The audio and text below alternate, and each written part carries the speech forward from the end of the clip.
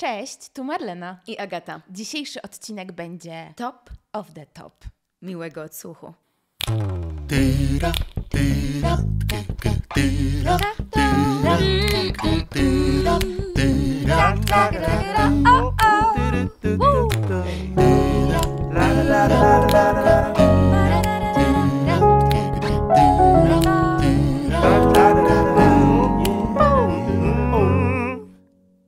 To jeden z tych odcinków, w którym zastanawiałyśmy się długo, jak przedstawić naszego gościa i mogłybyśmy zacząć wymieniać. Wesele, Drogówka, Dom Zły, Mój Biegun, Żelazny Most, Złotopolscy, Waha, Watacha. Pod powierzchnią, em, skazana, druga szansa i wiele, wiele, wiele innych. Nie starczyłoby nam ani czasu, ani odcinka, żeby wymienić wszystkie tytuły, w których zagrałeś.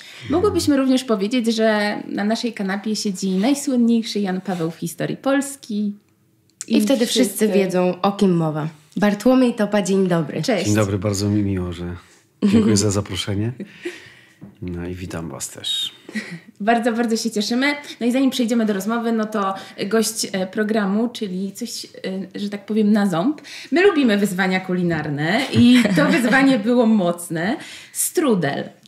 I chcemy tylko dodać, że zarówno strudel, jak i lody waniliowe zrobiłyśmy same. Także to podjęłyśmy Że to wszystko To jest... tym bardziej jestem zaskoczony i strasznie mi miło, bo, bo no, strudla niełatwo zrobić, bo można oczywiście kupić gdzieś pewnie, wiesz, w jakichś...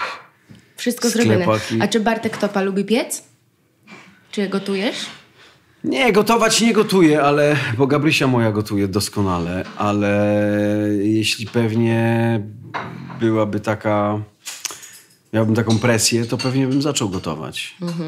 Kiedyś, yy, kiedyś czasami coś gotowałem włoskiego, Włoskiego. no ale, bo lubię makarony bardzo, ale, no ale jak od, od, od momentu, jak się spotkaliśmy z Gabryśką, to Gabryśka Przejęła stery. czy Asteria, ona w ogóle tęskni i marzy o tym, żebym kiedykolwiek coś tam ugotował, zrobił jakąś kolację. I, i czasami się zdarza, ale oczywiście, wiesz, no, zawsze jest takie oko e, szefa kuchni, że patrzy, co robię, kiedy, na jakim, na jakim poziomie jest ogień i tak dalej, czy patelnia jest rozgrzana.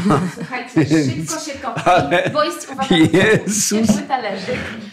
No to sobie wyobraźcie, że ten strudel jest.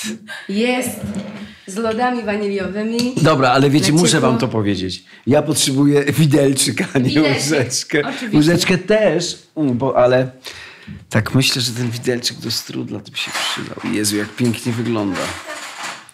Ale ciekawa. i od rana piekłyście? E, wczoraj. e, Wczoraj Wczoraj po nocy. W sumie można powiedzieć, że rano. Bo To ja muszę jest- spróbować. Ja, No, ja próbuję. Koniecznie. Ja pierniczę, jaki delikatny. Jakby ktoś chciał. Jak się fantastycznie kroi. Podobno ma być serwowany na ciepło, Mm. więc dlatego się tak topi. Gabryśko, po prostu fenomenalne. Ty nigdy mi strudla nie zrobiłaś. I- I jeszcze Świetnie. dowiedziałyśmy się, że to jest w ogóle inne ciasto, takie specjalne na strudel, więc wszystko to Bo my myślałyśmy trochę, że to jest tak jak Genialne. kruche ciasto z jabłkami. No To tak. łatwo, łatwo. A A, to tu się inne. okazało, że Wspaniałe, no to macie kolejny kolejny Deser. fach w ręku. tak, fach w ręku, ale ten jest doskonały, słuchajcie, naprawdę. To Jestem w bardzo, szoku. Bardzo nam miło. Lody są z przepisu mojego dziadka, więc też O, powinny być Jesus. ok.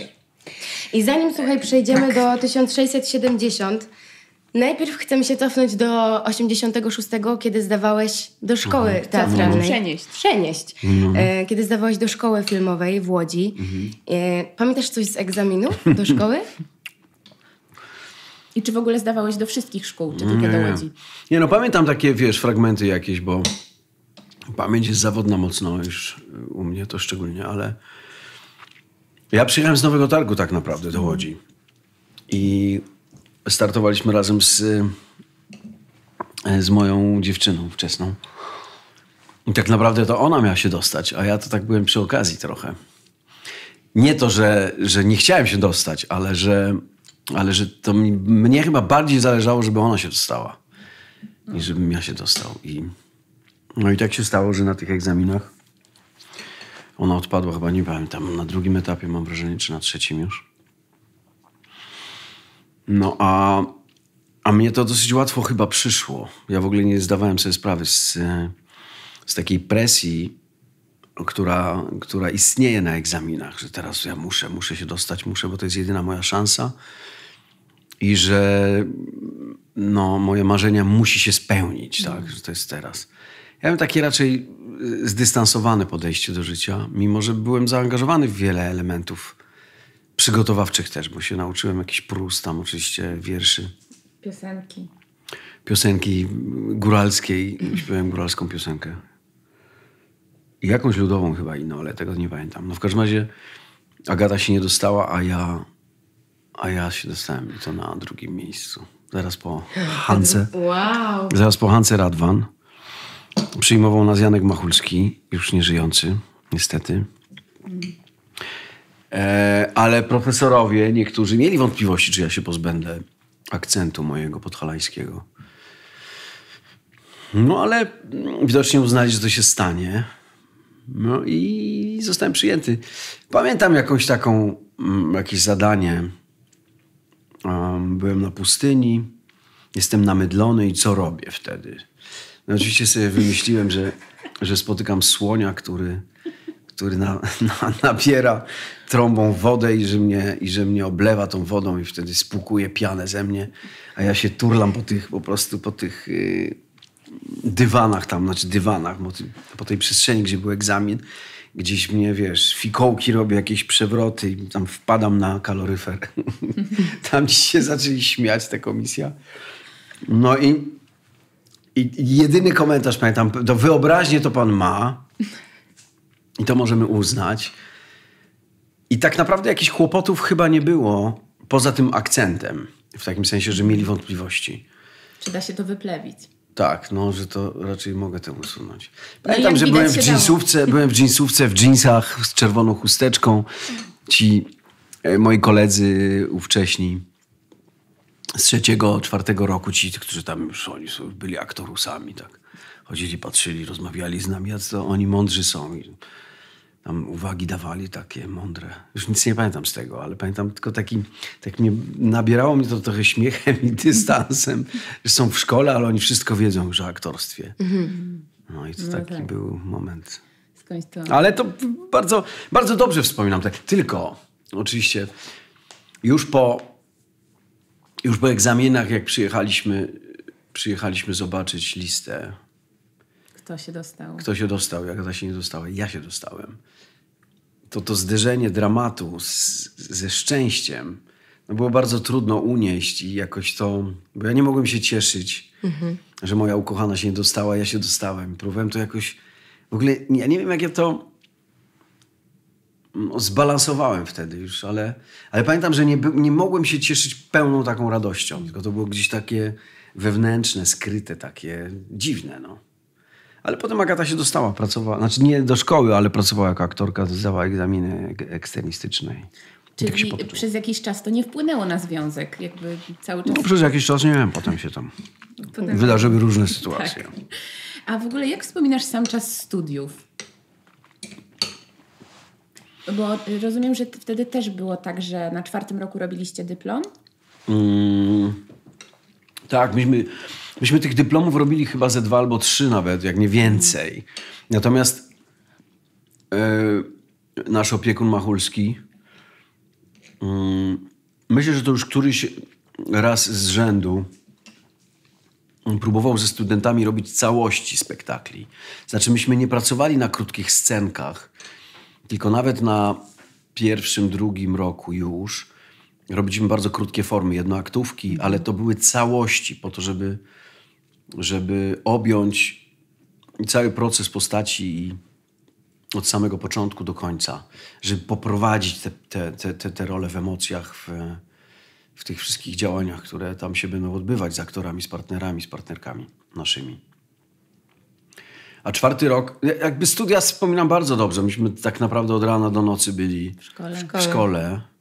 Tak jak to u was też, Mhm. na wszędzie, w, ka- w każdym, bo tam jest, jest pasja, jest jakaś energia i Chce i się chce się tam po być. nocach na próbach i Dokładnie odkrywać tak. nowe. Żeby coś Dokładnie innego tak. poczuć. Dokładnie tak. No to była końcówka lat 80., więc jesteśmy w takim momencie przełomowym zupełnie. Nie tylko dla nas, ale dla całej Polski, dla świata. Mur berliński potem pada w 89 przecież i No i my, w, tacy nieopierzeni, wychodzimy w świat, ale, ale bardzo dobrze wspominam ten czas. Mieliśmy bardzo silny rok e, z drugą grupą, która tak antagonizowała trochę, ale była z nami. Myśmy byli w takich konkursach trochę. Chcieliśmy się wykazać, że ci lepsi, a tam ci lepiej śpiewają, ci lepiej walczą, ci lepiej tańczą, ci jeszcze więcej fikołków robią. I to był czas taki, mm, no takiego rozpoznania siebie w tym. Ja nawet pamiętam, że skrewiłem jeden, jeden, jeden egzamin, bo mi się wydawało, że, że to muszę tak na spokojnie, w ogóle bez emocji. I na próbach byłem bardzo aktywny i taki zaangażowany, a potem tak myślę, a to sobie odpuszczę teraz, zobaczę, po amerykańsku zagram. No i tak zagrałem, że dostałem straszną cenę wtedy, o, o pieprz taką. Wiesz, Bartek, ale to wiesz, aktorstwo nie polega na tym, żeby być takim wyluzowanym totalnie. Ale wtedy to był czas takiego badania siebie wobec innych. Mm, ja nie mówię, że od razu...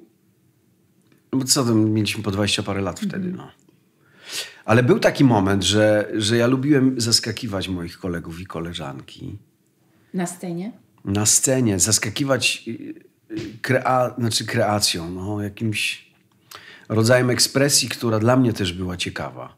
Żeby nie powtarzać w ramach, które mieliśmy, gdzie był ustawiony spektakl, to, to ja lubiłem gdzieś jeszcze coś takiego zrobić, że, że oni, co tu się wydarzyło? I tak, i widziałem, że oni że zwrócili, zwracali uwagę wtedy. Tak było przy Ryszardzie III. Grałem króla. I, e, i Kogo innego mogłeś? No właśnie. no tak. Ale też jeszcze w, w klubie ka- w klubie kawalerów grałem Nieśmiałowskiego. I tam rzeczywiście było bardzo zabawnie. Z tym spektaklem trochę pojeździliśmy potem e, po Polsce, bo Kuba Grzegorek, który był moim fumflem takim bardzo bliskim, mieszkaliśmy razem w 313 w Akademiku na Piotrkowskiej. Potem pojechaliśmy i wyobraźcie sobie, że ze dwa tygodnie temu wysłał mi film, który realizowaliśmy w 91 roku po, po, e, W roku po dyplomowym studiach. chyba już. W roku dyplomowym. Tak. I pamiętam, jak byliśmy w Nowym Targu moich, moich rodziców, znaczy w Nowym Targu w, w Domu Kultury, zaprosiłem całą tę ekipę y, tego spektaklu do mnie do domu. I tam pamiętam, mama zrobiła jakiś bigos, piliśmy piwo, żywiec, jakiś po prostu bankiet totalny. No i te nagrania z tamtego. I Kuba zadał pytanie, czy, ja, czy, czy, czy to może opublikować. I to jest gdzieś. Znaczy tylko dla naszej grupy, bo, bo z moim rokiem się komunikujemy. Ja trochę rzadziej, ale oni tam bardzo liczne dyskusje, mocne dyskusje prowadzą na Facebooku i cały czas mamy kontakt ze sobą. Więc to był taki bardzo, bardzo dobry rok. No. Bardzo to dobrze wspominam. A jeszcze będąc na studiach, No. zadebiutowałeś w filmie Zakład Teresy Kotlarczyk, Tak. który został potem jeszcze nagrodzony na festiwalu y, w Gdyni. Jak ty się czułeś wtedy? Jeszcze wiedząc, że w obsadzie jest Jan Peszek, to jest twoja pierwsza rola. No. Tak od razu po szkole. W trakcie szkoły jeszcze. Jak to połączyć ze szkołą, z zajęciami? No było tak, że mm, Janek Machulski dawał nam taką możliwość i szansę, żebyśmy, w- y, żebyśmy pracowali na zewnątrz też. Jeżeli się okaże, że, mm, że to jest jakaś większa rola, to te role zaliczał jako, Jako egzamin. jako egzamin jakiś w Wow. jakimś sensie. I to było dla nas fantastyczne. Mag- Ewa, Ewa Gawrylu, która była też u mnie na roku, grała w filmach przecież wtedy. Paweł Kowalski, który też był razem z nami na roku, też, też grywał w filmach. Mm, jeszcze parę osób też innych, ale poza tym to była szkoła filmowa i też chcieliśmy mieć kontakt z reżyserami. I tak się stało, że dostałem tę rolę na festiwalu będę szkół dyplomowych, spektakli szkół dyplomowych w Łodzi. Też dostałeś nagrodę. No tak, na końcu tak, to nie jedno. No właśnie. Ale, ale to nie było, ale wiecie co, i przyjechała Teresa Koltarczyk i gdzieś podobno na korytarzu mnie zauważyła i zaprosiła mnie na zdjęcia próbne. Przyjechałem i zrobiłem taki, taki dostaliśmy teksty jakieś, taka, jakaś rozmowa, tylko nie pamiętam z kim miałem te zdjęcia. W każdym razie przepróbowaliśmy to na razie, bez tak zwanego grania. I ona już powiedziała, słuchaj, to jest doskonałe, to właśnie tak sobie to wyobrażam. Ja wtedy po prostu byłem w szoku, bo, bo, ja, bo ja niczego nie zrobiłem jeszcze. Nawet nie wszedłem głębiej w to, a ona już uznała, że to jest okej. I tak sobie mówię, kurde, to może tak powinno wyglądać granie yy, przed kamerą. Żeby te emocje, że, że, że to nie jest rozedrgane nieustająco, tylko to jest jakiś rodzaj takiego Powściągliwości. powściągliwości. Czyli zresztą Janek zawsze nam mówił, mniej znaczy więcej. I to było, i to było jakimś moim, e, moim credo na wiele lat. I jest do tej pory. No właśnie, a jaki to był jeszcze etap taki w, w branży wtedy? Czy rzeczywiście miałeś tak, że mm, jak dostałeś tą propozycję jakby tego castingu do tego filmu, to czułeś tak, że wow, to się zaczyna, wchodzę w ten zawód, że zaraz będę grał i to rzeczywiście będzie mój pomysł na życie? Tak było, tak. Znaczy, ta, pierwsza, ta pierwsza rola to był drugi rok, rok mój. Potem na trzecim roku zagrałem w takim filmie fran- polsko-francuskim e, Łukasza Karwowskiego Listopad, Nowembre. Razem z Marine Deltermis z taką... Zresztą na castingu przyjechała na casting przyjechała Julie Delpy. Nie wiem, czy kojarzycie taką aktorkę francuską. Tylko coś tam się wydarzyło. Ona potem e, z Etanem Hawkiem zagrała w kilku fantastycznych rolach.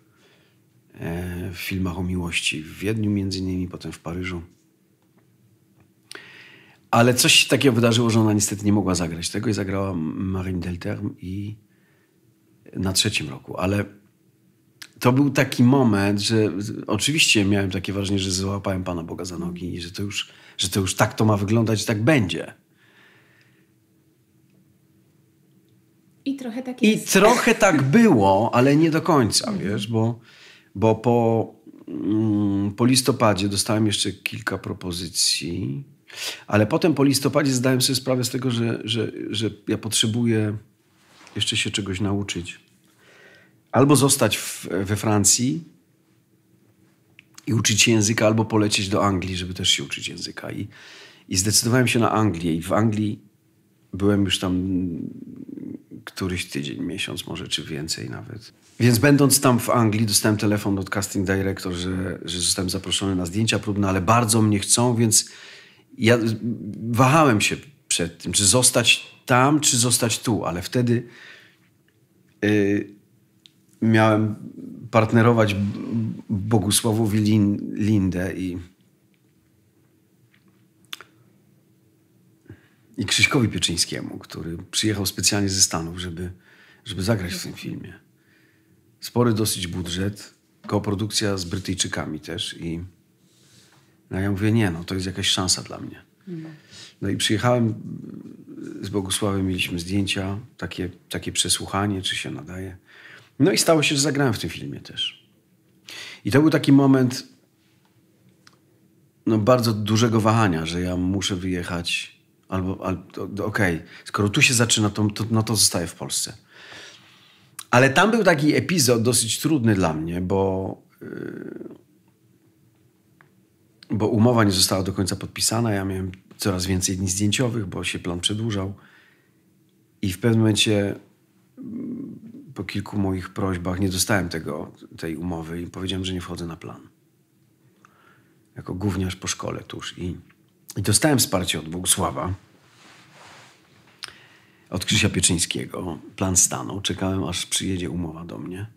Przyjechała na plan, podpisałem i zaczęliśmy grać. No, ale potem się okazało tak, że to jest tak zamknięte środowisko, że, że ta fama o topie poszła, że niestety się Że jesteś buntuje i że jestem aktorem? trudnym aktorem i że nie będą, że nie będą z takim pracować. No i przez jakiś czas, faktycznie 3, 4, 3 lata, 4 lata, nie miałem e, wiele propozycji. Ale wtedy to był też czas taki, gdzie, gdzie próbowałem się y, więcej dowiedzieć o swoich emocjach i,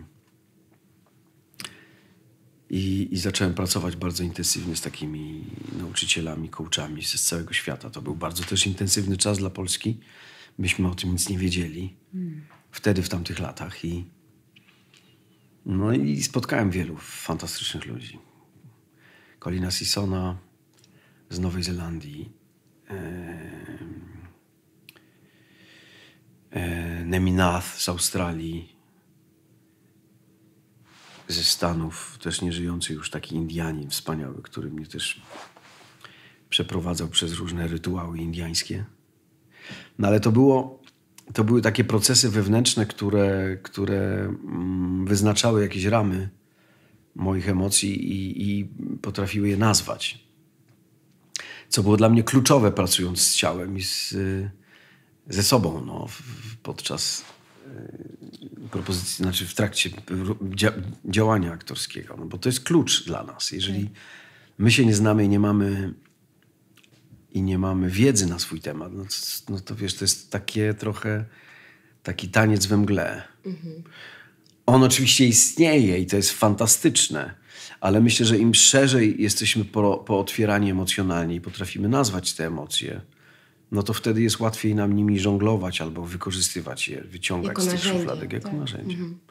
Więc taki był czas potem kilkuletni bardzo silnej pracy. Zresztą zacząłem wtedy w knajpach pracować, bo, bo nie stać mi było na nic. Czyli musiałeś mieć jakąś dodatkową pracę, No żeby musiałem się tak, żeby się jakkolwiek- utrzymać, oczywiście, ale to był też czas taki. No jak aktorzy nie wypada, oni wszyscy y, z, z misją. Wiesz, moi koledzy pracowali w teatrach, a ja, a ja nie, bo No ale właśnie też fajnie, że o tym mówisz, dlatego że mam wrażenie, że mm, my teraz będąc po szkole, no niektórzy z nas ruszyli w zawód y, bardziej intensywnie, mniej intensywnie, ale są też osoby, które no, mają taki, można powiedzieć, przestój.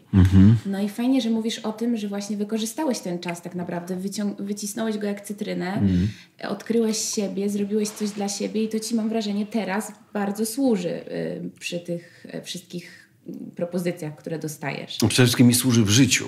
No, to na pewno. Bo to jest dla mnie jakby podstawa. A zawód jest, jakim, jest jakąś częścią oczywiście i wiem, że kiedyś tak było, pewnie dzisiaj może też jest, ale aktorki, aktorzy się poświęcali temu i tak naprawdę nie mają dzieci. No jest tyle tych miejsc, gdzie samotni aktorzy mogą, mogą dożyć potem swoich ostatnich dni, no bo nie mają rodzin, bo byli poświęceni zawodowi.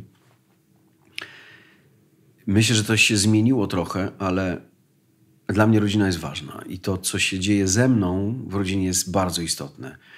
A zawodowo, no już jestem w takim momencie, myślę, że, że teraz korzystam z tego bardzo intensywnie. Więc to jest ważne, tak, to jest, to jest niezwykle ważne, że te momenty, mm, nie chcę powiedzieć depresja, ale takiego przestoju, o którym mówisz, jest, to jest, to jest codzienność aktorska. I, No i, i nigdy nie wiadomo, kiedy nas za- zadzwoni telefon, żeby cię zaprosić na, na casting albo żeby zaproponować jakąś rolę. A jeszcze chcę wrócić trochę do czasów studiów, bo gdzieś to mnie ciekawiło. To jest pytanie z serii, dużo osób to czuje, ale nie, nie każdy o tym mówi głośno. Czy była u Was na roku zazdrość, że nie wiem, ktoś już coś robił, e, ruszył? Ten Czy to była taka zdrowa rywalizacja? Wiesz, i tak i, i tak i nie, bo jeżeli ktoś był zazdrosny, to nie mówił wprost o tym, że jest zazdrosny. No tak. Yy... A propos zazdrości właśnie spotkałem wczoraj, przedwczoraj e, Michała Żurawskiego, który, bo przygotowujemy, przygotowujemy się do premiery Czerwonych Maków, w których zagraliśmy razem z nim, zresztą Andersa, ja Sulika, generała i, mówi mi, że, że on niczego nikomu w życiu nie zazdrościłem, ale tobie, Jana Pawła, to po prostu bardzo zazdroszczę. I to bardzo to obśmialiśmy się strasznie, więc tylko on to powiedział. Ale, ale w tamtych latach może ktoś mówił o tym, ale mnie to kompletnie nie interesowało, albo ja chyba nie miałem tak, że nikomu nie, zazdro- ja nie zazdrościłem. Znaczy, był taki moment, że i, wielu, i, i, i może się nawet dzisiaj pojawia, że ktoś pracuje za granicą z mojego pokolenia już, mm, gra w międzynarodowych produkcjach, a ja jestem tu. A w tamtych latach też miałem tak, że no tak, tam ci też pracują, ale może to jeszcze nie ten czas jest. Potrafiłem sobie zawsze wytłumaczyć, znaleźć swoje miejsce w środowisku i w tym. Także to jest rodzaj jakiegoś chyba umiejętności. Jak mi ktoś dobrze powiedział kiedyś, ty topa, gdziekolwiek powiesisz kapelusz, tam ci jest dobrze. I tak chyba jest, że, że ja, ja się adaptuję bardzo dobrze do, mm, do miejsca, w którym jestem. Mimo, że za- czasami może mi coś uwierać, no to jak już czuję, że to jest, że jest za dużo czegoś, że nie ma równowagi, to, no to mm, idę na zmianę, no i tyle. No, nic Też się tak adaptujesz. Mam wrażenie, że przez to te role ci to wynagradzają, bo y, rozmawiałyśmy z Agatą przygotowując się do spotkania z tobą, że ty masz te to ogromne szczęście, że tak tu Jan Paweł, a tu jakiś kryminalista, tu policjant, że tak ta różnorodność Różnorodne są te role. jest tak ogromna, że to każdy o tym marzy, aktor mam wrażenie, Mm. żeby grać różne, pokazywać się w różnych e, sytuacjach, więc... y, No coś w tym jest, wiesz, że ja zacząłem tak naprawdę tę swoją przygodę od, y, od matlaka właśnie w, w zakładzie Terski Kotlarczyk, a potem, no a potem ten, e, ten chłopak z Nowombre, ale góral, ale tak naprawdę gdzieś te przeciwności, czy te, te dwa bieguny, pierwsze dwa bieguny zobaczyłem w Zenku w Złotopolskich i w, w Doktorze Majerze e, w Teatrze Telewizji Wojtka Smarzowskiego w kuracji na podstawie Jacka Głębskiego prozy. I, I to były zupełnie dwie odmienne dwie przestrzenie. No i, i, i, i, I wtedy sobie powiedziałem, że ja tak chcę może nie chcę, ale jakoś sobie marzę o tym, że tak wygląda aktorstwo. Że z jednej strony jakiś totalny wygłup i taki poligon, e, wiesz, jak można zabawić, albo jak można się czuć w tym. Bo ja tam miałem ogromną wolność Złotopolskich i, i, i wiesz, tam kamera szła, ja sobie robiłem swoje. I oni dopiero potem, jak już rzeczywiście powiedziałem stop sam, no to kamera się zatrzymywała, ale już od pierwszych dni ja tam miałem epizod jakiś dostać. Znaczy dostałem. I Epizod. zostałeś na 17 lat. No 17 lat w związku z powtórkami, bo tak naprawdę ja byłem tam tylko chyba ze dwa lata albo trzy. No ale jakby ten serial dalej krążył, No tak, krążył. tak, i- tak. No już jest teraz legendarny. Ten, te kadry z tego serialu. I memy. Wiesz, ja, no memy, ja, ja Memy tego... w połączeniu z Janem Pawłem też teraz, no po prostu hit. Tak? Są takie? No. No, nie, no Na. TikToku to gdzieś widziałam. Że no świetne, świetne. A czy Bartek Topa ma wewnętrznego krytyka? no pewnie, że tak. A jak go wyciszasz? Nie, rozmawiam z nim, ja go nie wyciszam, bo to jest takie wyparcie, które, które nie służy, bo myślę, ta konfrontacja jest ważna, ale też y, widzę się w innych i to chyba mi daje też taki rodzaj e, pewności. A jak się pojawia krytyk, to, to z nim rozmawiam, bo nie jestem pewny wszystkiego. Absolutnie nie. I to jest też, ale potem, i dlatego jak coś, y, jak coś robię w filmie albo w, w serialu przed kamerą, to ja lubię to zobaczyć. I jestem krytyczny wobec tego, co zobaczę. Bo jeżeli to jest. Jeżeli to jest jakiś, jakaś, jakiś rodzaj obecności, która, w którą wątpię, a tam, w tej wątp- a, w, a tam tej wątpliwości nie powinno być, to ja to zobaczę z drugiej strony na ekranie.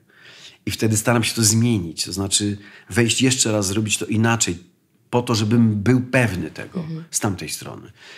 I często jest tak, kiedyś tego mi bardzo brakowało, no bo y, pierwsze filmy robiłem na taśmie i nie było możliwości obejrzenia tego Pójście do podglądu i pójścia do zobaczenia. podglądu i zobaczenia. Dzisiaj tę możliwość mamy.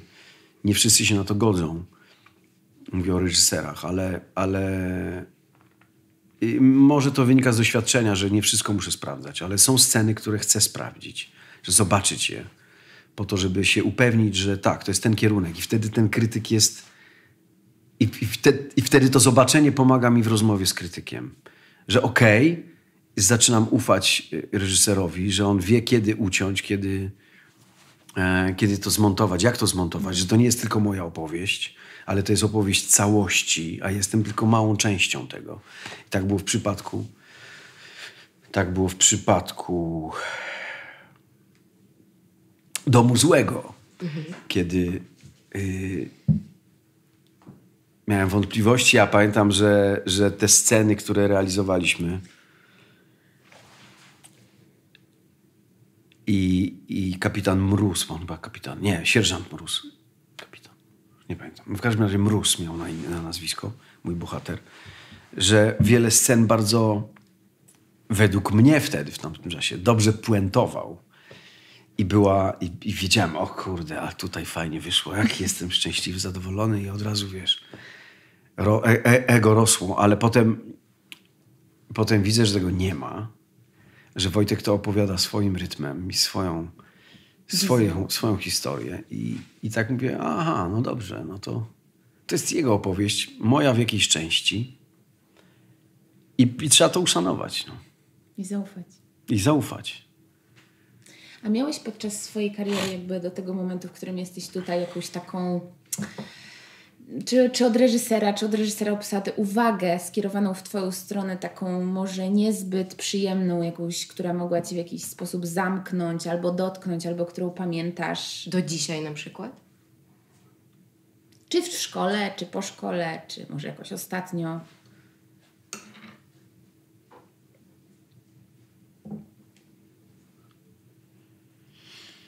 Mogłeś też nie mieć. Chyba nie, ale wiesz co, jeżeli miałem, to, to ta uwaga była. Ona była. Ona była skierowana bardziej do. Znaczy bardziej. No, nie, no miałem uwagi, żeby mniej, mniej. Ja mam strasznie dużą ekspresję. Ale teraz ją trochę inaczej lokuję w sobie.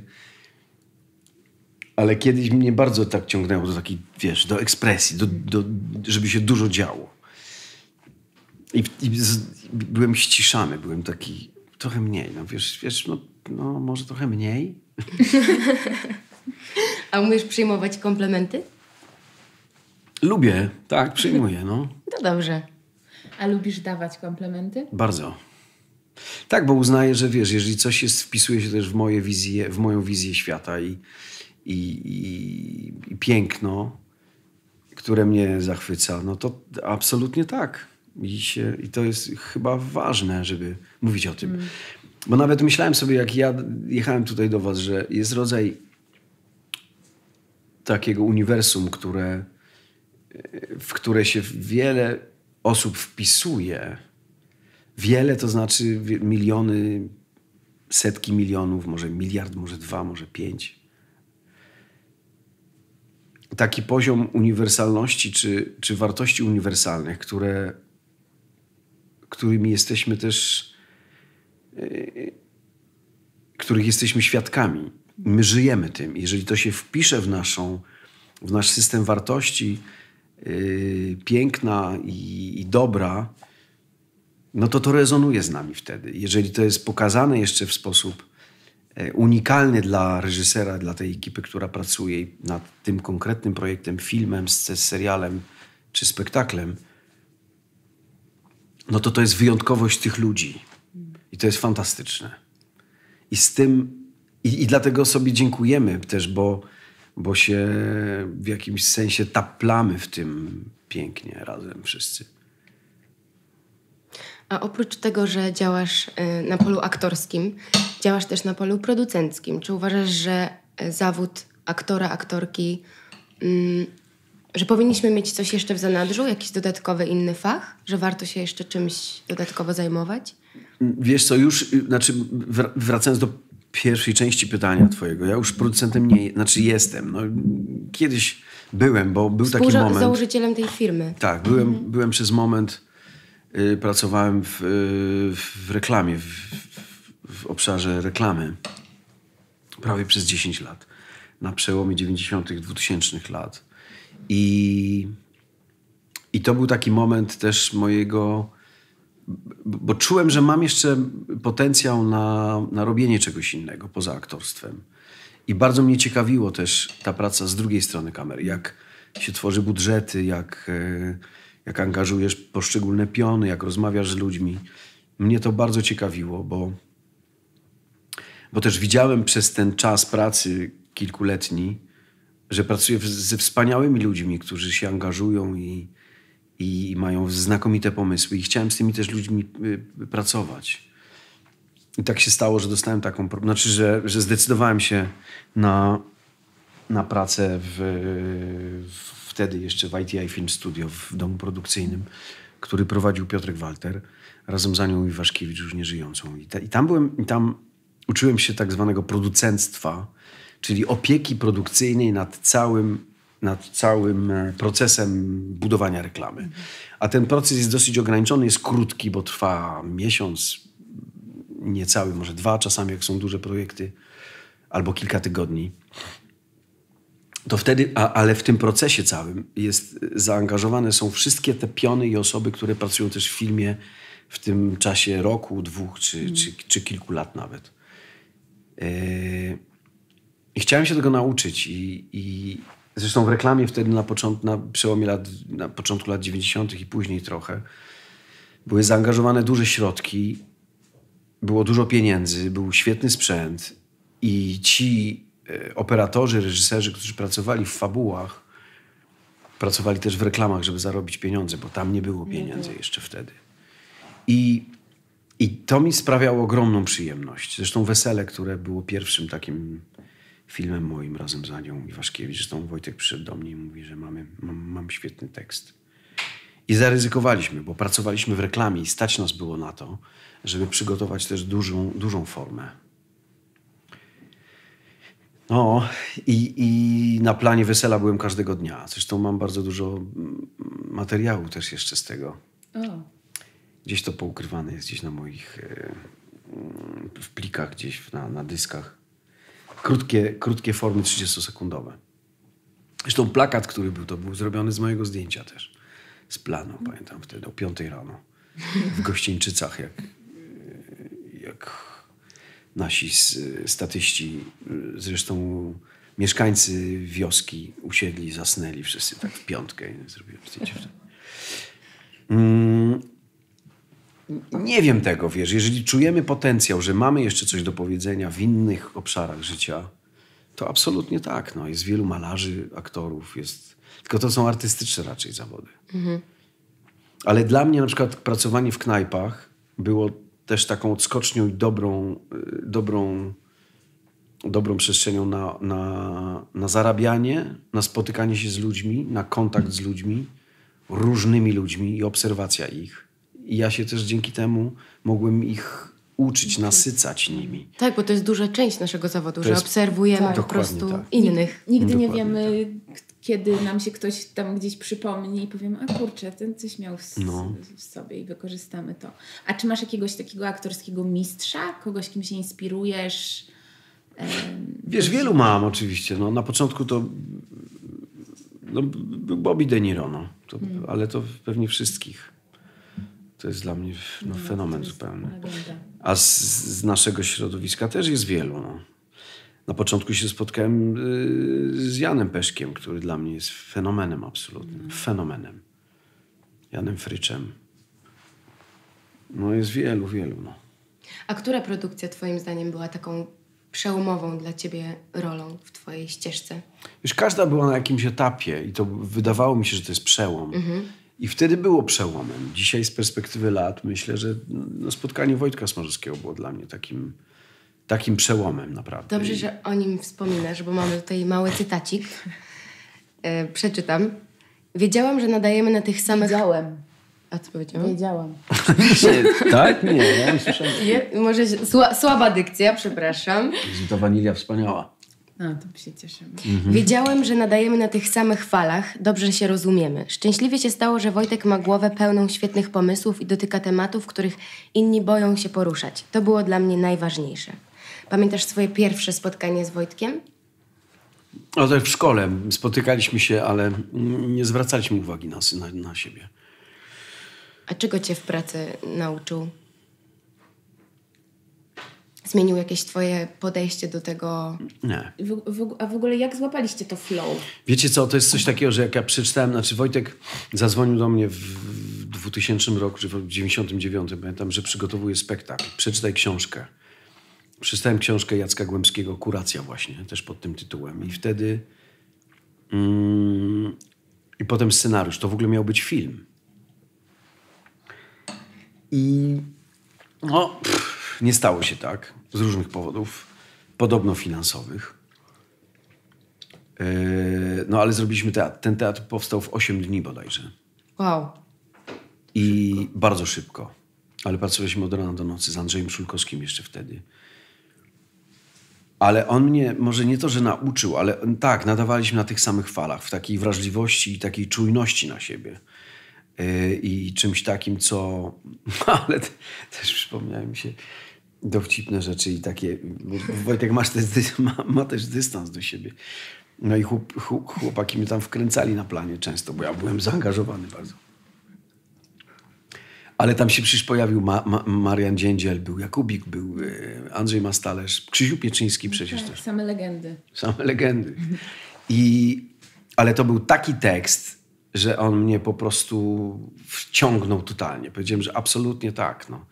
Zresztą w tamtych latach nie było wyboru. Jak ci ktoś proponuje, to bierzesz bez względu na to, e, co to jest, czy co to było. Nie, nie, nie mieliśmy wiedzy takiej, że, e, że już na podstawie samego scenariusza, czy, czy aktorów, z którymi się spotkasz, to już wiesz, że, że to będzie świetne. No. I będziemy o tym gadać. Że będziemy o tym gadać po I 30 Wszyscy latach. będą to wspominać, No. cytować. A propos tego y, właśnie dobierania roli, uważasz, że teraz jesteś krytyczny przy decydowaniu, czy zagrasz, czy wejdziesz w ten projekt, czy nie? Jestem. Jestem, tak. Oczywiście scenariusz jest podstawą. No i realizatorzy. Nie mówiąc o aktorach też, no oczywiście. Dużo było ról, które odmówiłeś? Aż tak dużo nie, znaczy, wiesz, nie wiem jaka skala jest, ale, ale przez ostatnie, nie wiem, pięć lat może się zdarzyło z siedem, z osiem odmówić, może z dziesięć. To, moim, moim zdaniem to dużo. No, Moim też. To zależy, ile się też No dostaje właśnie propozycji. mówię, Tak, no, że to właśnie. zależy od skali. Ale też to były takie projekty, które czasami mm, czasami się nachodziły, Mhm. na przykład realizacyjnie, ale też były takie, które mnie kompletnie nie wciągały w- tematycznie. E, A było coś, co na przykład odmówiłeś, a się okazało hitem potem? Miałeś tak, kurczę... Jeszcze no, tego nie wiem, ale to jest też częścią mojej rzeczywistości obecnie. Bo żeby zagrać 1670, yy, nie, że musiałem odmówić, ale, no, ale tak się stało, że, że, że zagrał to ktoś inny, mimo że się już przygotowywałem do tamtej roli. I czekam na ten, na ten projekt, on się pewnie niedługo pojawi. Się Ale nie mogę o nim mówić. Dobrze.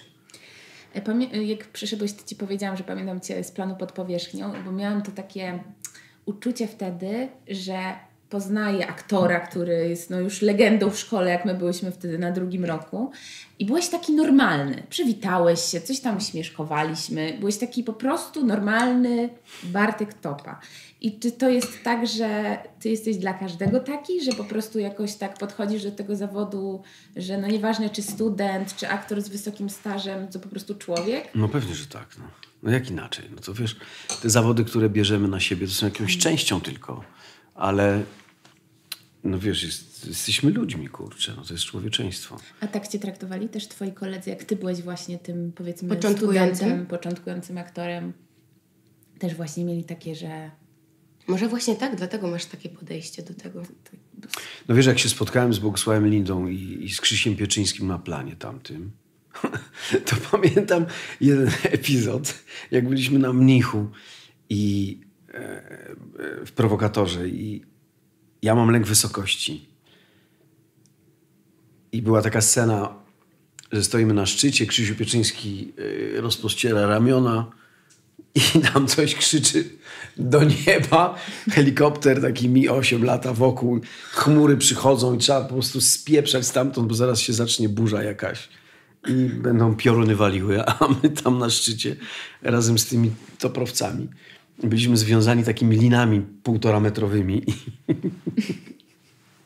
I pamiętam, a jeszcze pod skałami ze styropianu, bo oni się gdzieś musieli poukrywać, jak ten helikopter latał tam wokół śmigłowiec i filmował raz. Artur Reinhardt tam siedział w progu i filmował ten szczyt. No to ci toprowcy musieli się schować tam, żeby ich nie było widać, bo cała ekipa tam była. Ograniczona bardzo, no ale jednak. I my związani tymi linkami, ja tam coś szarpnąłem. Pamiętam, jak Boguś się wkurzył, zaczął mnie opieprzać, a ja w śmiech ze stresu, on cały zdenerwowany. Boże, to pamiętam bardzo, bardzo dobrze. I pierwszy raz taki miałem dystans, że ktoś się wkurza na mnie, a ja się śmieję z tego. Ale nie z tego, że on się, tylko z takiego, tam się No tak, nałożyło nerwu. wszystko i stres, i nerwy. I to, że mam lęk wysokości, boję się tego stanu w tych górach. To było bardzo, bardzo zabawne. Więc, więc yy, to sobie przypomniałem na, w związku z twoim pytaniem, ale ja czułem respekt jakiś oczywiście zawsze wobec starszych kolegów i e,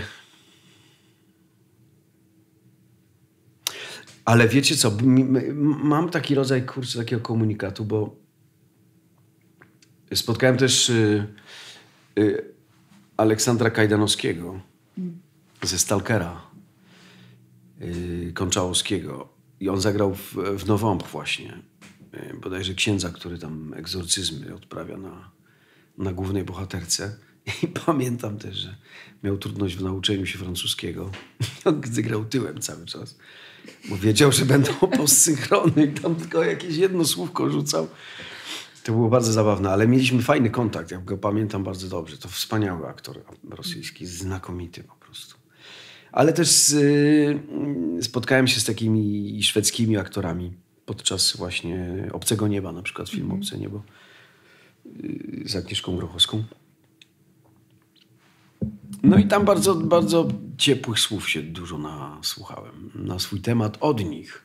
Bo też widzieli, jakie jest podejście moje do pracy, jaką mam, jaką mam formę wobec innych i tak dalej. Tam byłem mocno, w...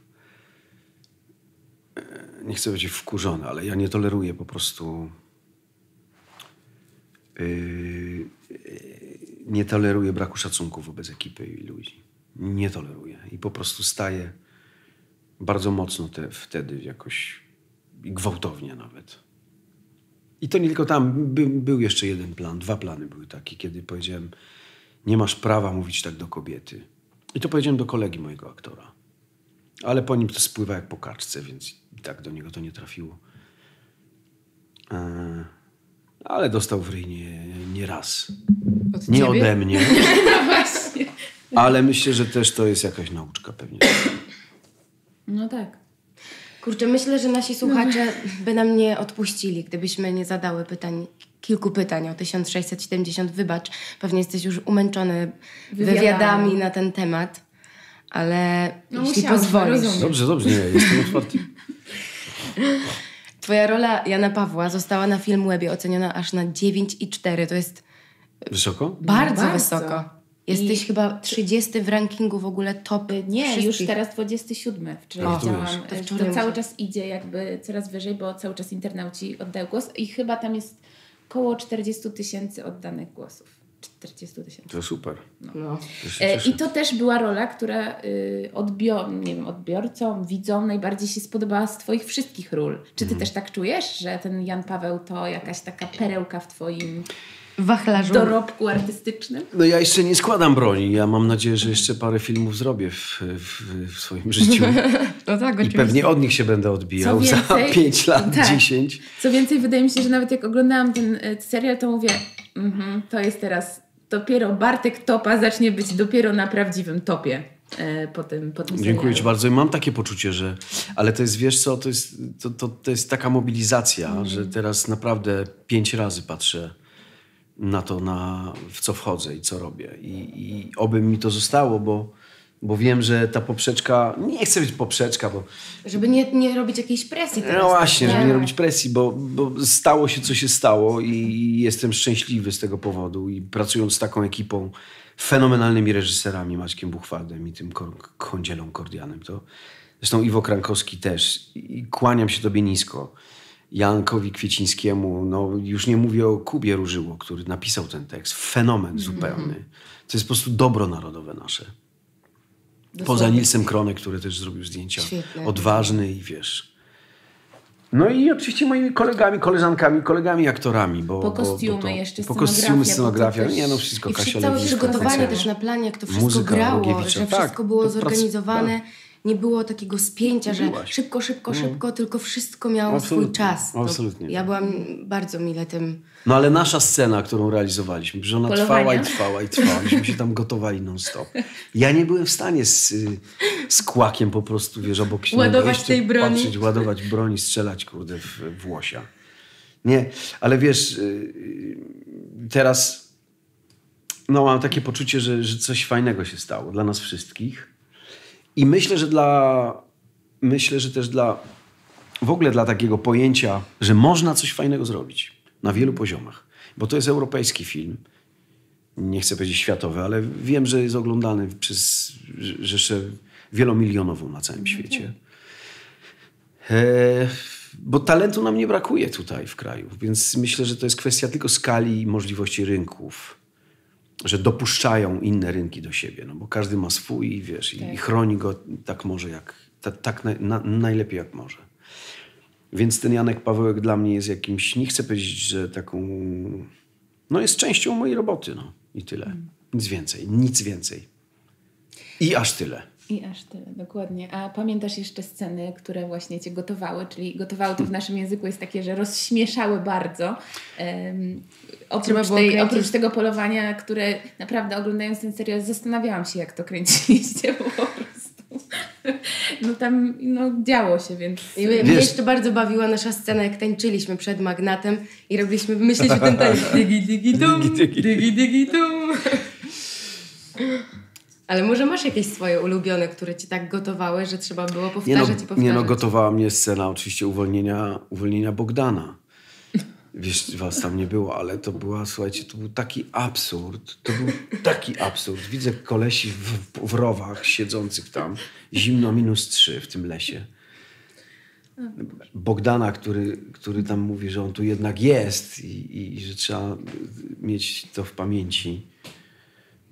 Ten, ten, ten nieznany. I, i, i, i, ja mówię, że no ale to jest kot w worku. Jak mogę kupować kota, w, jak mogę brać kota w worku? Tato, ale jak to może być kot? Przecież to jest człowiek. No, wiesz, i zlepka tych, tych absurdów mnie rozwalała kompletnie. No.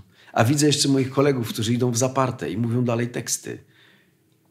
No to to już mnie totalnie rozwala. No. Zresztą to jest w, chyba w, w, w tych y, w tych wpadkach z, z planu Na, na Netflixie, no. Na tak. Netflixie. Jak przyjeżdża medyk do mnie też i tam jest taka scena, mówi, że Andrzej, mówimy o jądrach, jak, jak jest- jestem badany. Ja mówię, Andrzej nie ma trzech? Nie, Andrzej ma trzy? I nie wiem, czy zauważyliście, on kiwa głową, że tak i dopiero potem mówi, że nie. A jesteśmy wrażliwymi ludźmi. Jak ja widzę, że on kiwa, że tak, no to mnie to rozkłada. Mało kto yy, wi- widzi ten krótki momencik takiego, takiego Tak, kiwnięcia. lekkiego, Wiesz, tak. On był tak, znaczy nie chcę powiedzieć zestresowany, ale wiesz, przejęty tą rolą swoją, bo tam miał dużo tekstu jeszcze, wiesz, spotkanie, mimo że jest komikiem i, i wychodzi na scenę stand-upową i, i przecież pracuje z widownią, no to tam był mocno zaangażowany. I to zaangażowanie mi się strasznie podobało też, bo już byłem na takim etapie, bo to ostatnie, jedne z, nie chcę os- nie, ostatnie nie, ale, ale te sceny chyba realizowaliśmy dosyć późno, więc już miałem taki dystans do, do tego, co się dzieje. Jak ja widzę człowieka, który po prostu jest tak zaangażowany, no to mnie samo to śmieszy i to jest wspaniałe, to jest cudowne zupełnie. No dobra, no to... Jest kilka scen jeszcze. Ja uwielbiam płaczkę. O, płaczka, tak. Yy, no oczywiście z Raczyńskimi sceny wszystkie. Zegar też Odcięcie jest palca, świetny. zegar jest świetny. Znakomita scena z łechtaczką, oczywiście, jak, jak wybiegają tam nasze żony z tyłu, a my po prostu nieświadomi niczego. Przy stole rozmawiamy. Nie, coś... Wchodzisz do pokoju, ona leży w łóżku. Tak, ona leży, że nie, czas na, nie czas na drzemki z przyjaciółką, no, wiesz, no. No Janek Pawełek, no. No. Tak. No dobra, no to pytanie, na które chyba czeka pół Polski. O. Czy będzie drugi sezon 1670? Nie mam pojęcia. Wszystkie znaki na niebie i, i, i ziemi wskazują, że, że no bardzo tego chcemy, ale decyzji nie ma oficjalnej, więc czekamy, no czekamy. Czy pozostaje nam czekać? Tu mam taką małą ciekawostkę. Jestem, jestem, muszę zadać to pytanie. W twoich dwóch filmach z twoich ust pada taka sama kwestia. Mówi się wziąć, a nie wziąć. W drogówce to mówisz i w Coś w 1670. Jestem ciekawa, czy to jest przypadek, czy oni to... Kiedy to mówię w drogówce? Kurczę, nie pamiętam, który to jest dokładnie moment. Żartujesz. I mówię tak? Mówi, Mówi, się wziąć? mówi się wziąć, a nie wziąć. O kurczę, to mnie I zaskoczyło. mówisz też to jako setkę Teraz. do kamery, Tak. jako Jan Paweł. I tak po prostu zwracając się do Polaków, mówi się wziąć, a nie wziąć. I zastanawiam się, czy to jest tak, że to jest coś, że to jest jakaś ja- aluzja Kurza do... bar- Bartka Topę. Nie, no tam jest dużo aluzji, absolutnie odniesień do kina i do... No wiesz, właśnie, więc czy to, czyli to... To, to na to nie zwróciłem uwagi. No to musimy się zapytać chyba twórców. Ciekawe. A, to 1670. To świetne, to bardzo jestem zaskoczony tym. Muszę nawet Wojtka zapytać, bo, bo zadzwonił do mnie i powiedział bardzo pod, z podziękowaniami. Zresztą wiele osób zadzwoniło. To jest super. I to ze środowiska.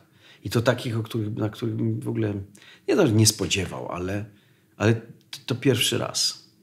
I to było świetne, to było fan, fajne. No. Teatr. Jaki ma miejsce? No. Jakie miejsce ma w twoim życiu? pierwszorzędne.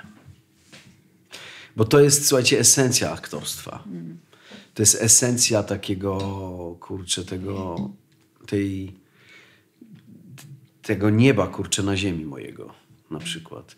Mimo, że żeby się tam dostać, to ten czas prób i uczenia się tekstu i przygotowania i rozkminiania roli jest dosyć żmudny, trudny i, i dla mnie mm, napawa mnie lękiem za każdym razem.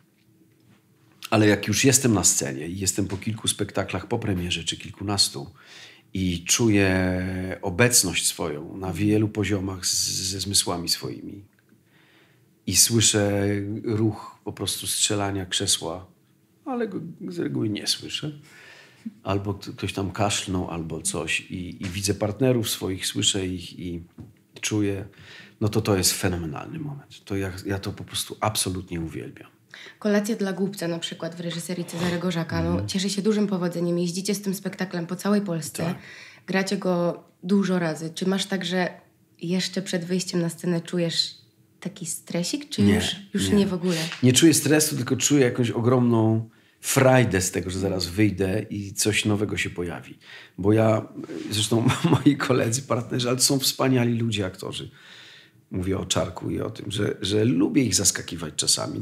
Oczywiście te moje propozycje są czasami durne, głupie kompletnie, no ale przydzielone postaci trochę. E, to mimo wszystko to jest dla mnie no, ogromna frajda się spotkać z nimi na planie, znaczy na, na scenie. Bo, bo czasami jest tak, że, że to Twoja obecność i Twoje propozycje windują, może nie windują, ale prowokują partnerów do, do takiej jeszcze większej obecności, takiej pełniejszej, wyrazistej bardziej. I to jest fenomenalne, no, bo, bo od razu słyszymy to z publicznością, bo jesteśmy jednym organizmem. I też- Zresztą O, przepraszam, nie Mów. Nie, mówię, że też jest to coś takiego niesamowitego, że mimo, że jakby ten sam tekst jest, to te spektakle za każdym razem są inne, przez to, że ta publiczność No inaczej tak, reaguje. oczywiście, I to jest takie niepow... No nie da się tego komuś wytłumaczyć, jaki to jest taki fajny... No. To jest ta energia, którą O, energia, która wraca z dwóch stron. Absolutnie. I bez względu na to, jak wstaliśmy tego dnia, albo co się wydarzyło po drodze, i nie wiem, ktoś e, nakrzyczał, albo się obśmiał, albo nie wiem, pies się zesikał pod ścianą, albo coś. No to wszystko to bierzemy ze sobą, żeby na scenie to przekazać nie, w niewerbalny albo w jakikolwiek sposób. I, to jest, I to jest coś, co y, wiesz, mówi się zawsze, czy mówiło się w szkole, nie wiem jak u was czy było teraz, ale że, że aktorstwo jest misja co to znaczy misja? No? Mieć świadomość tego, że, że jesteśmy jakimś lustrem, albo że, że jesteśmy tylko i wyłącznie transferem emocji, informacji, o których nawet nie mamy zielonego pojęcia i świadomości tego, bo to się dzieje poza nami. Jesteśmy tylko narzędziem do przekazywania. No to to jest, dla mnie to jest misja. Jeżeli tak ma wyglądać yy, teatr czy kino i dopuszczenie do tego, żeby cię oglądały miliony, no to ja się na to piszę. Bo to jest rodzaj jakiegoś przywileju, chyba, żeby, żeby w takiej. yy, No, żeby w, taki, w, takim, w takim kanale się wypowiadać po prostu. Bez względu na to. Ach, już nie chcę dalej głębiej. Znaczy nie głębiej, tylko widzicie, ile mamy Seymour Hoffman. U, uwielbiam tego aktora. A przecież zmarł z przedawkowania, tak? I zmagał się ze swoimi tematami jakoś dramatycznie. I to widać na każdy, w każdej jego roli, takie roztrzęsienie, ból jego niesamowite, jakiś ból jakiś, ciągły. Zobaczcie, ile aktorów fenomenalnych, którzy się śmieją na zewnątrz, mają, ma, ma, ma depresję. I się zmagają z jakimiś problemami i to nie, jakimś totalnym dramatem A wewnętrznym. jeszcze dzisiaj Światowy Dzień Depresji, więc nagrywamy Tak? ten No, odcinek. widzisz. Więc y, czasami uśmiech może mylić, bo pod spodem jest po prostu Płacz. jest płacz, no. I jakaś totalna niezgoda na, na to, co się dzieje i co się z tymi ludźmi dzieje i ze światem. O dobra, to wyobraźmy sobie sytuację, możemy sobie taką sytuację wyobrazić, że jesteś, y, zaczynasz studia aktorskie teraz, w naszych Teraz. Tak. dzisiejszych czasach, które no, są jakie są. Jak myślisz, jakbyś się odnalazł w tym świecie z self-tape'ami, nagrywaniem wizytówek, Wysyłaniem. wysyłaniem maili do castingerów, y, szukaniem agencji, które no, teraz naprawdę nie jest łatwe. Czy Wiesz co, w 90, w 90 nie pamiętam, 5 albo 6 roku zadzwoniłem do Bógsława Lindy tuż po prowokatorze i mówię, bo miałem kumpla, który pracował, y, który zajmował się komputerami. I on mówi, stary, wchodzi sieć, będzie, będzie, net będzie w każdym domu, w każdym telefonie, za chwilę będziesz po prostu, będzie świat zalany tym. I moja wyobraźnia się na tyle uruchomiła, że zadzwoniłem do Bogusia Lindy i mówię, chodźmy na spotkanie, chcę z tobą pogadać o pewnej sprawie. I zaproponowałem, słuchaj, trzeba zrobić, trzeba stworzyć y, y, agencję aktorską polegającą na tym, że co pół roku zapraszamy aktorów, będziemy nagrywać, self, będziemy nagrywać ich wizerunki. To będzie w necie na jakimś y, Kanale. kanale, portalu. I tam casting dyrektorzy i reżyserzy, ktokolwiek, żeby wejść i zobaczyć nas, będzie musiał zapłacić 5 groszy, 10 groszy, 10, nie ma znaczenia co. Ale że możemy stworzyć z tego nie tylko polską agencję reklamową, czyli zrzeszającą wszystkich aktorów na przykład, ale też zrobić taki e, powielenie tego w, na całym świecie. I, I wtedy usłyszałem od Bogusia, że nie, że mnie to nie interesuje, ja mam swoją robotę. I jakoś to odpuściłem. I wiem, że, że a dzisiaj tak się dzieje, bo dzisiaj jesteśmy w sieci. Dzisiaj nagrywamy właśnie self-tape'y, jesteśmy, mamy swoje wizytówki. E, I, i, I to jest to dzisiaj to, co było moją propozycją 30 lat temu. Przewidziałeś to. No tak, bo to była kolej... Teraz zresztą mam kolejny temat do rozkminienia, ale to nie jest jeszcze na tę rozmowę. Natomiast y, myślę, że to jest ogromnie ciężkie w waszym przypadku. Bo sztuczna inteligencja zbliża niestety się wielkimi zbliża. krokami. Już, już Dynamika jest taka, że mam, ba- bar- mam bardzo duże obawy o nas, o was. Więc teatr jest Tak, takim medium, gdzie, No hologramów chyba gdzie trzeba zrobić. nie będą Zresztą robić. koncerty z Whitney Houston już są Już są, programowane. dokładnie. A, a technologia będzie się tak rozwijać, że za chwilę nie będziemy do rozróżnienia. Hmm. Może nie będziemy żyli. Już teraz można nagrywać przecież dubbingi, Tak. m, nie prosząc aktorów, żeby coś No tak, nagrali. no tak. A wspomniałeś o self-tape'ach. Nagrywasz cały czas self-tape'y? Ja nigdy nie nagrywałem self-tape'ów, powiem wam. Ja w ogóle... Dla mnie to jest zupełnie obca sprawa. Okej. Ale fajnie. Ale wyobrażam sobie, że to... Wiecie co? To jest, jest, jest coś takiego, że, że chyba...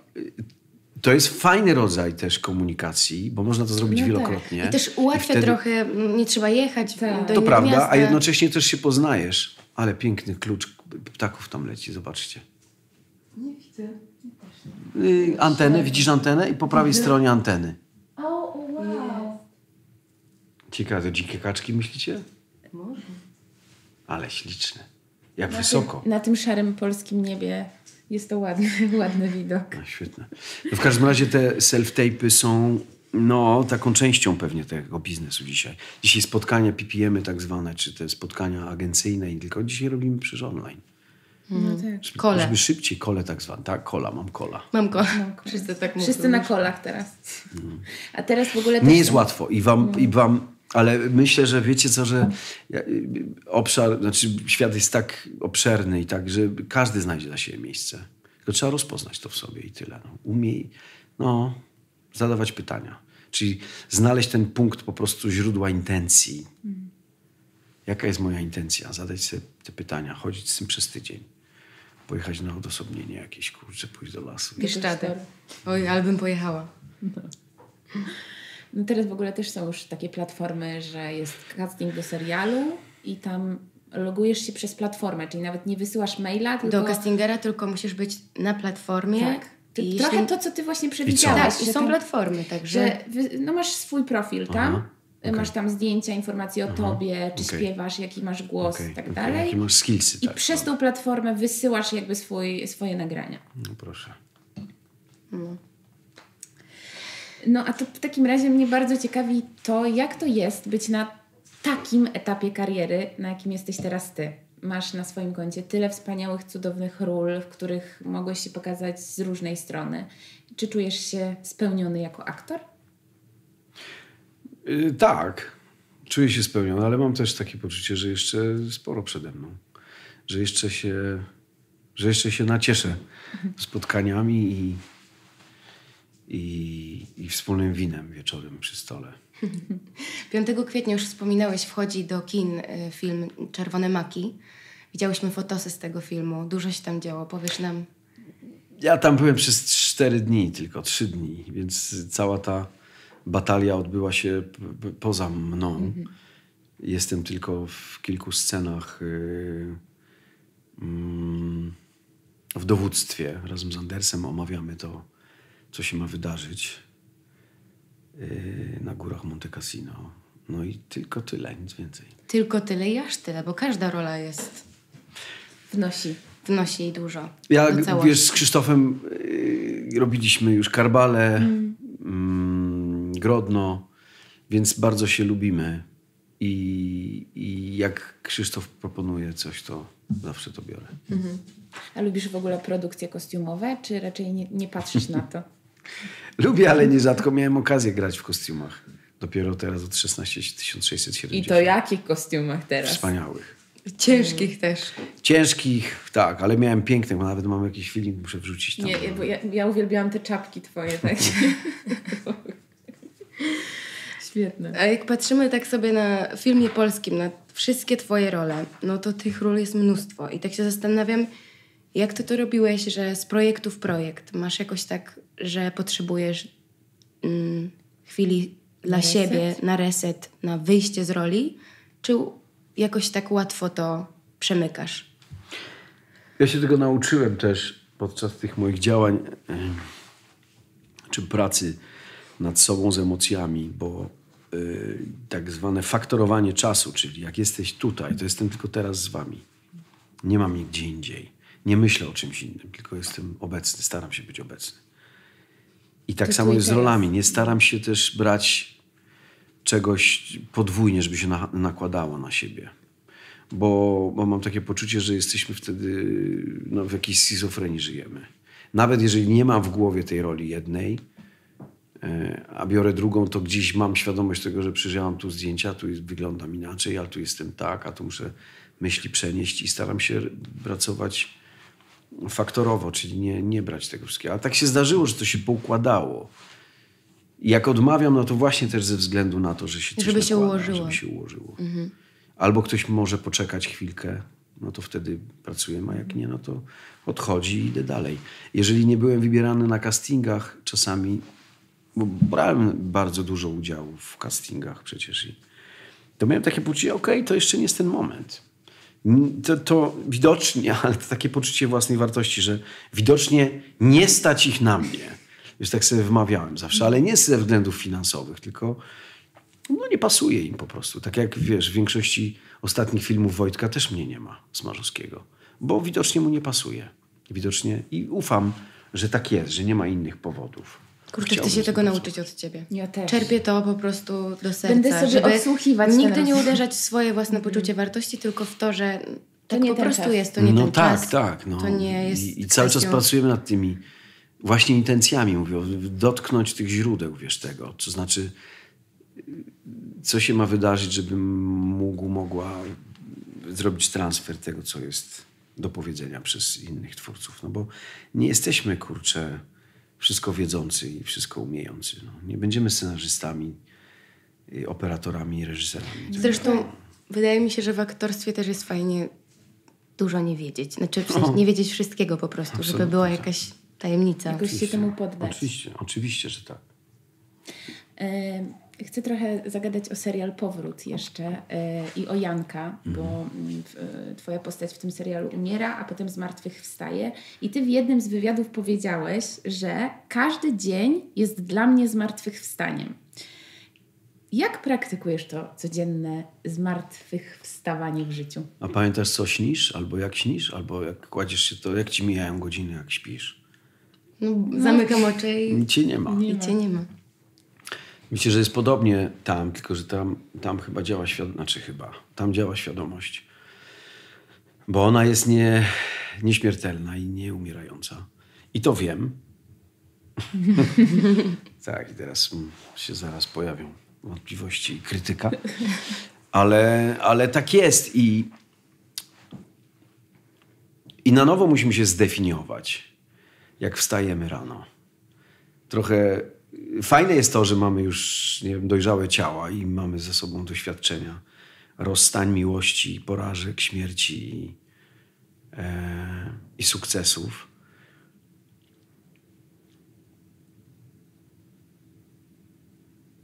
Ale ja za każdym razem lubię ten moment, bo wiem, że się obudzę i akurat teraz, że się obudzę i będą obok mnie Gabryśka i, i Owocki które o trzeciej e, wnosimy do łóżka swojego i po prostu jak rano się budzą, to czuję, że już się zaczynają budzić. Ja się trochę wcześniej budzę, żeby się z nimi przywitać. I, i jak dzisiaj, wiesz, widzę, że otwierają oczka.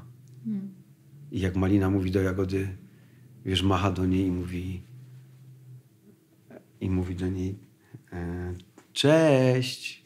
A ona jeszcze leży obok i mówi, że ona nie chce. Ja mówię do Maliny, słuchaj Malinka, to musisz poczekać chwilkę, bo, bo Jagoda musi żółteczko wciągnąć. A, żółteczko, żółteczko. Zaczynają mówić. A potem się przytulają do siebie bez, wiesz, bez żadnej...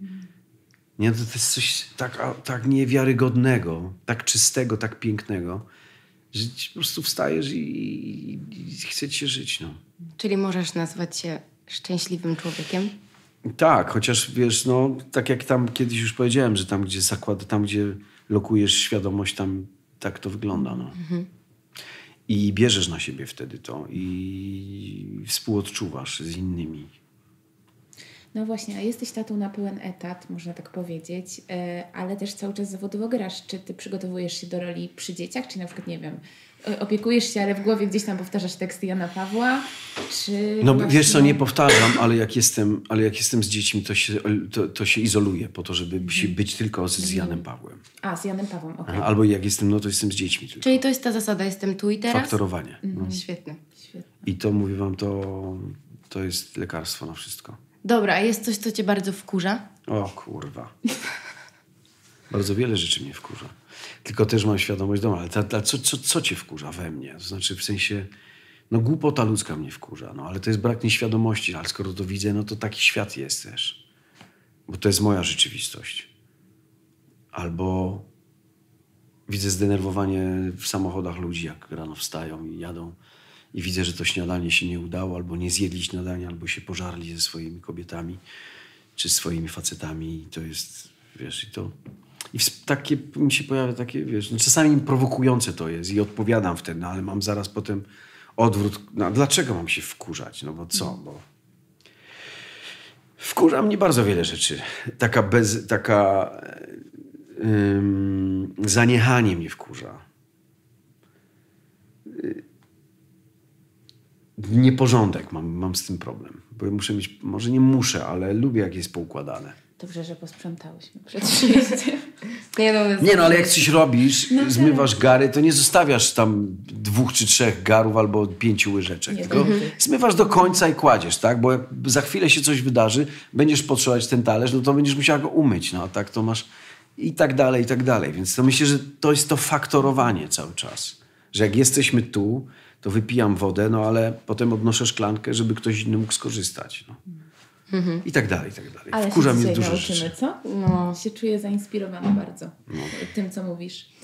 E, proponujemy zakończyć jakimś Czy ty kultowym... płaczesz? No jakoś nie, to mam, e, to oko Okej. mnie piecze, ale się też wzruszy, wzruszyłam jeszcze o tych owockach, jak mówiłeś, to ja, wiesz, aktorkom niewiele potrzeba.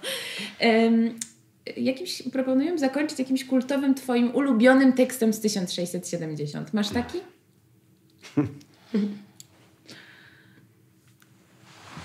Nie. Czekaj, czekaj. Teraz nie przytoczę, ale strasznie mi się podobała ta, ta sentencja, że wyobrażam sobie, yy, yy, co powiem, co powiem nad, nad, nad yy, zwłokami. Y, nad zwłokami nie Jeremiego, tak, Jeremiego, czyli nagłej śmierci. Ale mam problem z tym, że, że on ma. Łukasz, głowy szukasz. No ale mam z tym problem, bo przecież on ma na imię Jeremia, nie Łukasz. No i, i nie wiem. I ta rozkmina Jana Pawła mnie, mnie absolutnie rozwala. I strasznie mi się podoba ta jego mądrość i taka, taka bez, beztroska po prostu. I te wszystkie cytaty piękne, które on mówił Cyceronem. Tak, Cyceron. Cyceron. Bartku, bardzo Ci dziękujemy, że znalazłeś chwilę i mimo tych wszystkich wywiadów, które masz już na koncie po, po, po promocji Zgodziłeś się z nami pogadać i I spróbować trudno. Wspaniały, bardzo dziękuję. Naprawdę. dziękujemy. Dziękuję Wam za uważność i za, za chęć spotkania. Dziękujemy Ci. Dzięki za wysłuchanie naszego odcinka. Dobrze wiecie, jak w dobie algorytmów ważne jest komentowanie, lajkowanie, udostępnianie i obserwowanie profilu, więc z góry wielkie dzięki za to. Do usłyszenia.